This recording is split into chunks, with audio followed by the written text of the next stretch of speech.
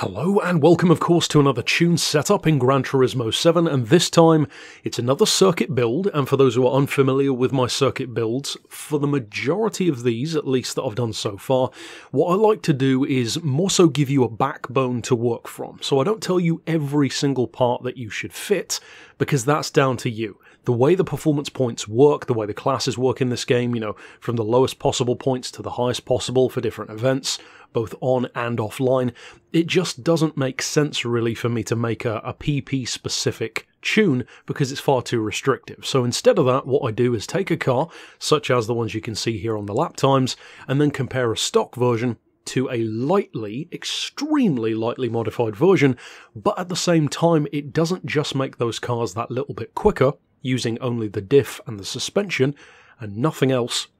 But crucially, it gives you that backbone, that scaffolding to work with, so that if you then do increase the power and drop the weight, etc., you can use this same underlying method to then work with that and make the car that much more controlled. So it's a beginner setup but with the purpose of being able to really extreme tune the car if you desire.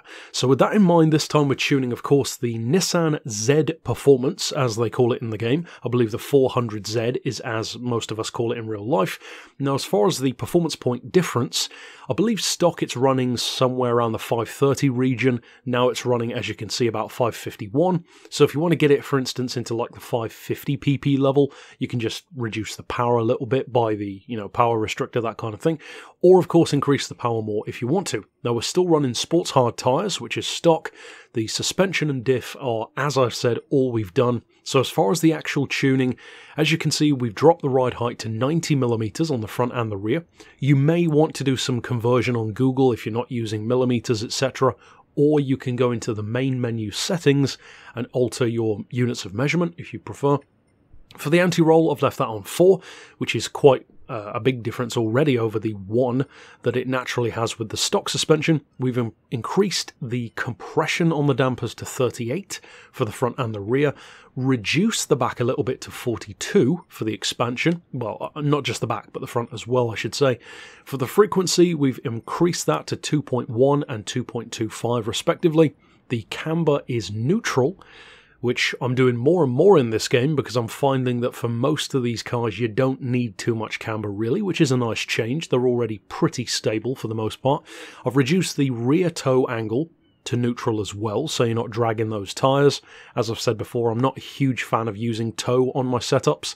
Some people like it. If you want to give it a try, go for it. I just personally prefer to use stuff like the diff and the camber rather than toe.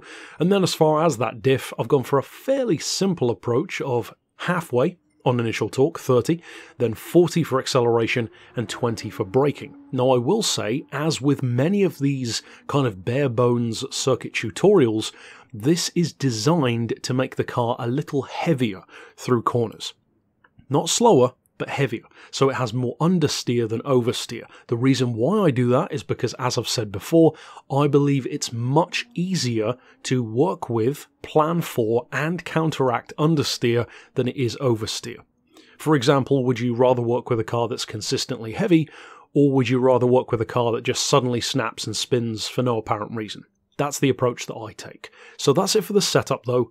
Now, of course, what we need to see is that lap time that you saw earlier on in practice to see what kind of difference this actually makes, not just to a raw lap time, but how the car composes itself, its poise, its control, and how pleasant or lack thereof, in you know certain cases, the car may be to work with.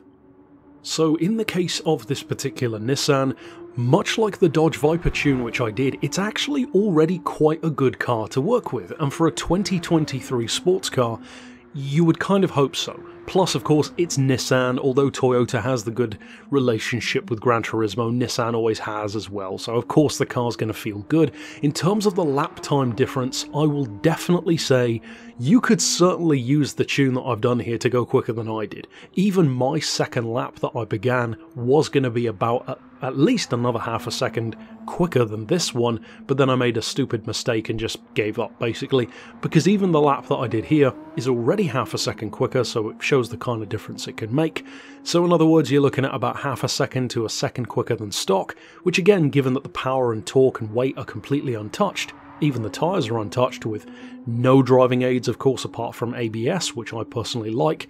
It gives you a rough idea of the kind of improvement it can give you. The main difference that you'll find if you use this tune compared to the stock handling is that the stock car feels quite soft. Again, similar to the Viper, it wallows around quite a lot. It feels a bit soft and it, I mean, it feels comfortable. I would probably put it that way. It feels very forgiving, but it feels a bit mushy through corners.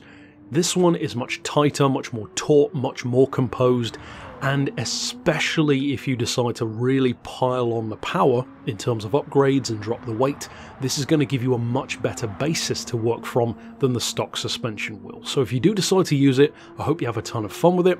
If you do find certain other vehicles like the Viper, like the 911 difficult to tune, then I would recommend of course checking out my setups for those, because many people have found those very helpful already, and of course I will be doing more like this on the channel as well. So overall, it's a good car to work with.